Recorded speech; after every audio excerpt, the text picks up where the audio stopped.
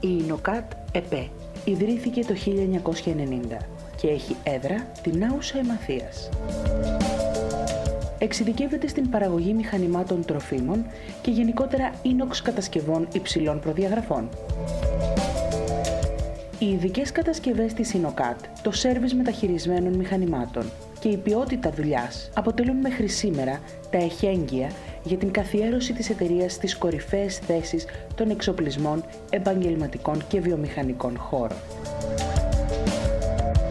Άψογο σέρβις και ποιότητα. Η εταιρεία παρέχει εγγύηση σωστής και ασφαλούς λειτουργίας όλων των κατασκευών της.